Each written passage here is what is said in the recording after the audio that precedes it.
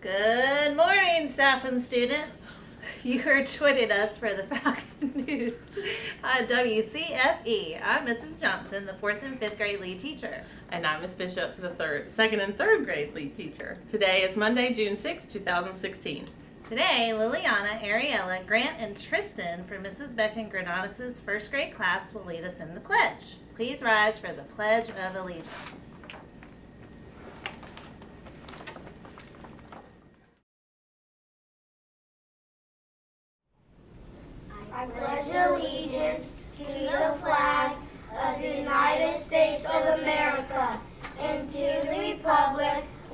For which it stands, one nation, under God, indivisible, with liberty and justice for all. Please remain standing for the Fur Falcon Pledge. As a fur falcon, I pledge to be a responsible member of our falcon family. I will do my best to soar higher than the rest by making good choices and showing respect. It's all up to me. You may be seated. Mrs. Bishop, what kind of weather can we expect today? Well, this morning it is cloud, cloudy and it's 72 degrees. We will have cloudy skies today and a high of 86 degrees. Whew, it's already a little warm. Yes. Mrs. Johnson, what are we going to have for lunch today? Well, mm-hmm. I think it's a surprise today, so enjoy. I love surprises.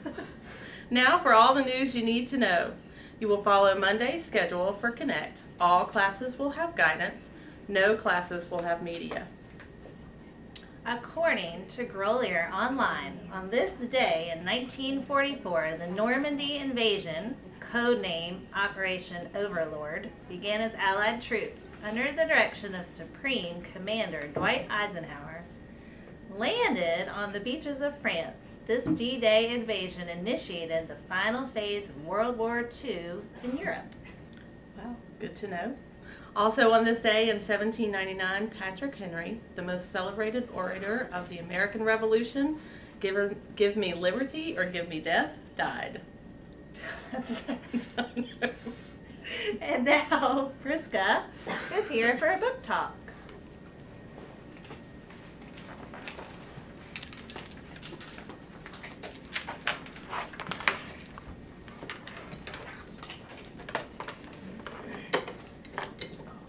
And now I am here for a book talk to share with you. Um, titled World Records. This book is about um, great work records like Usain Bolt, the fastest man on two legs, and Kenichi Ito, the fastest man on four legs. Now, um, here are some other books uh, in the in the Seeing and Believing um, series. Machines that will thrill you. Animal facts. Places to amaze you. Science facts.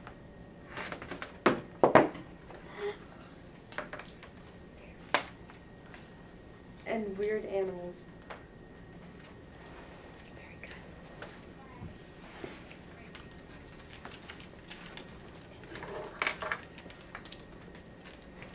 Thank you, Priska. Students, have you returned your library books? Currently, there are 151 books still checked out Mm. and 175 books marked as lost.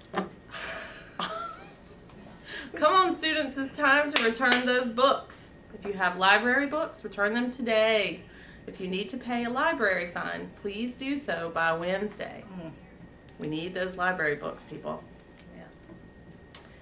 Did you get your 2016 yearbook last week? We still have a few extra yearbooks to sell. You can still buy a yearbook any day this week in the Media Center. Yearbooks are $25. That's a bargain. Mm-hmm. Payable by cash or check to Jostens.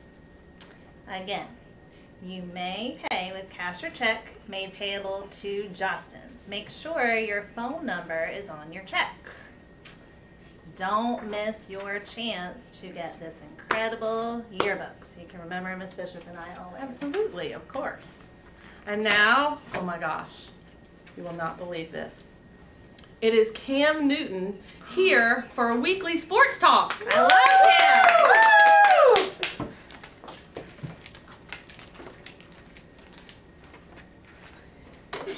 him! Hi! I don't know if you can hear me or not, so I'm gonna bring in Owen. Well, after I talk about my new show on Nickelodeon, Nickelodeon called Kids All In. Thanks, Cam. now for Owen's weekly sports update. The NBA Warriors face Cleveland in the second game of the finals. The Warriors beat the Cavaliers 110 to 77. They are winning the series 2 games to none.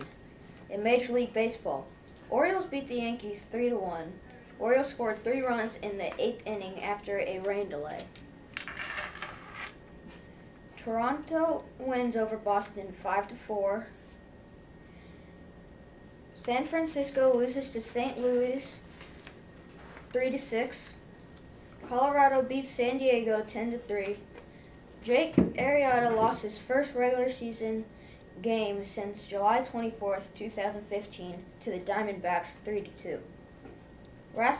NASCAR race was rained out.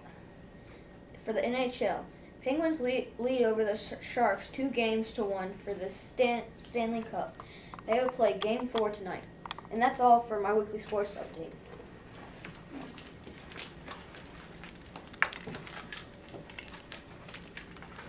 Thank you, Owen. We love the Cam Newton Fathead. You've done an awesome job of bringing us the latest sports updates each week. Who knows? Maybe you will be a TV or radio broadcaster one day. Or And work for Duke. And you'll have to make sure you thank your first grade teacher. Uh, Thanks for joining us on the Falcon News on WCFE. Signing off, have a fabulous day, Fur Falcons!